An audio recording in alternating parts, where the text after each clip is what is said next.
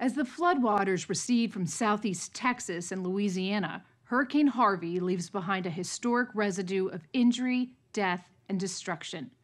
FEMA Administrator Brock Long has warned the recovery will be a quote, slow and frustrating process.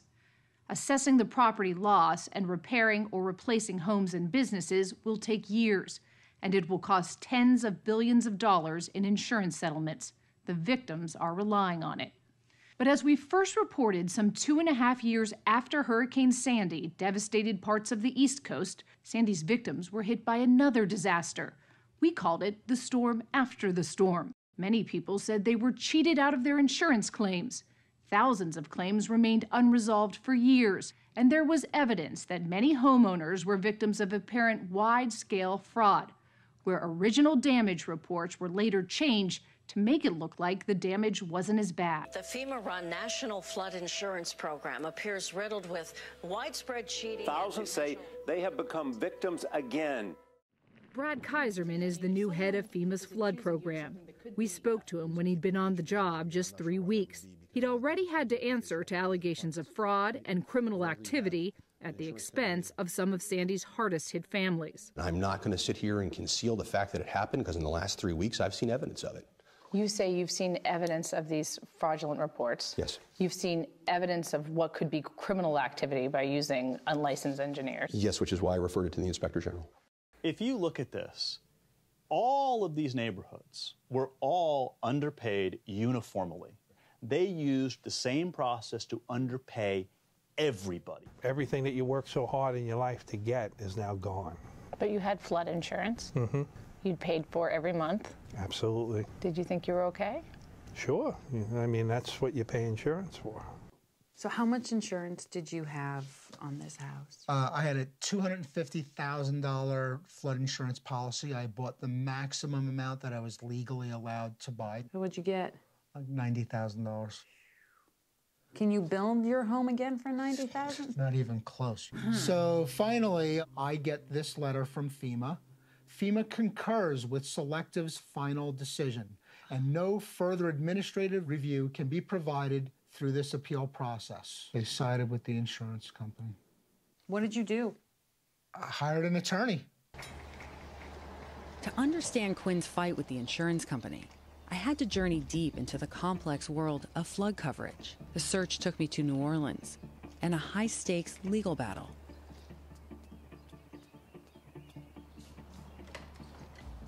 Hi, John. Hello. Laura John, how's it Sullivan. Nice to meet Very you. nice to meet you as well. John Houghtaling is a bit of a New Orleans legend. He made millions for his clients and for himself, taking on the insurance companies after Katrina.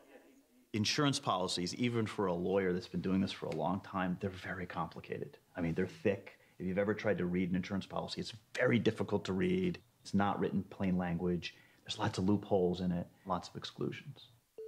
So everybody here is working on Sandy, and these are the clients that we represent. After Sandy, Houghtaling focused his law firm's attention on problems developing with flood claims in New York and New Jersey. I looked at some of the cases, and I had never seen anything worse in my entire career. He eventually signed on to represent about 600 Sandy victims in lawsuits against 20 insurance companies. And he says the companies used a variety of ways to systematically underpay homeowners. Allegedly, the engineering reports would go into the home office on all of these cases. Go into the home office, and someone in the home office would change the report. Not only change uh, the conclusions, but would change the facts. That's Metairie based plaintiff's attorney John Houghtaling talking about U.S. Forensic. He represented more than a thousand Sandy flood victims, including Deborah Ramey and her husband Bob Cable in Long Beach, New York. In 2015, 60 Minutes told the story of how U.S. Forensic changed an engineer's report that originally said Ramey's house was a total loss. It plainly said there was structural damage to the house. But this is the report the insurance company sent to Cable when they denied his claim. Quote, not structurally damaged. They said the damage was long term, meaning it existed before Hurricane Sandy. U.S. Forensic claims changes in initial engineering reports are not uncommon and part of its usual review process. But a federal judge in New York called U.S. Forensics' actions highly improper. Another judge ruled that U.S. Forensic, quote, secretly rewrote the report, made baseless changes to it, and the practices may be widespread. This is Andrew Braum, the engineer who could no longer stay silent. Braum told us not only were changes made to his engineering reports, but he was asked to cover it up. He showed us the original report he'd written about the damage to John and Gail Miro's house. We assess in the conclusions hydrodynamic forces, hydrostatic forces due to the flood caused the cracking and shifting throughout the foundation. So you're saying the flood caused this damage? Correct. And then in the revised or the altered report, it says settlement due to consolidation of soil caused the foundation wall to crack. That's not what I wrote. It's completely altered. How many of those reports were doctored?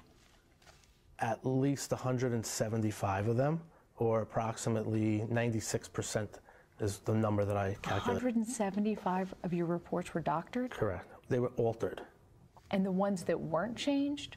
The ones that weren't changed, interestingly, were ones where I recommended that no repairs are required. Do you think they were trying to cover up something? Now, knowing what I know, yes. According to a U.S. Senate committee, the head of the FEMA insurance program accused U.S. Forensic of fraud, but the company was never charged. Only one engineering company, High Rise Engineering, was ever charged with Sandy fraud. It pleaded guilty last month and was debarred from the federal flood insurance program. You're familiar with the flooding we had in March and April last year in Louisiana. I know very you're much very so, familiar. Why is U.S. Forensic still doing engineering work now in Louisiana? So I cannot prohibit the use of a company uh, unless we have gone through a complete debarment process. Uh, the convicted company has been debarred. Mm-hmm. Um, otherwise, I, that's the collaboration that we are doing with the inspector general. The, the federal judge in, uh, in New Jersey accused this particular firm, these, these, are the, these are the judge's words, not mine, of reprehensible gamesmanship. That's not enough to get you off the list. Menendez of New Jersey joined Kennedy in asking Wright about another key player from Metairie we told you about last month, Gerald Nielsen, the attorney who represented 90% of the flood insurance companies against claimants in court. FEMA's private counsel for more than 90% of the cases, the Nielsen law firm, did everything in its power to drag out the proceedings, draining time, resources, and money from Sandy victims who had little to spare of each. Rather than work in the interests of justice, the Nielsen law firm filed countless frivolous motions seeking to run up their legal firms, which Nielsen himself bragged would surpass $100 million. To add insult to injury, these millions of dollars came partially from the very policyholders he was fighting in court. He dealt with Sandy victims like they were the perpetrators, enriching himself at their expense, bullying, scaring people out of court, hiding documents. Are you familiar with an attorney by the name of Gerald Nielsen? I am. I believe he had some difficulties in representing some clients after Hurricane Sandy, too, did he not?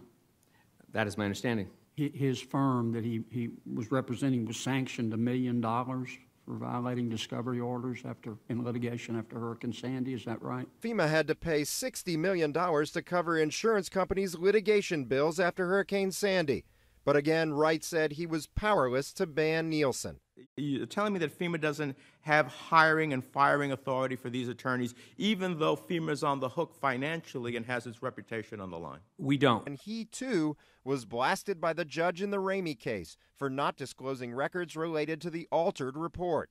He also defended the insurer in a case that led to criminal charges against High Rise Engineering but now he too is back in the fold at FEMA. Because the government's National Flood Insurance Program pays for claims and covers the insurance company's costs, Bell argues that engineers and adjusters have no incentive to lower damages.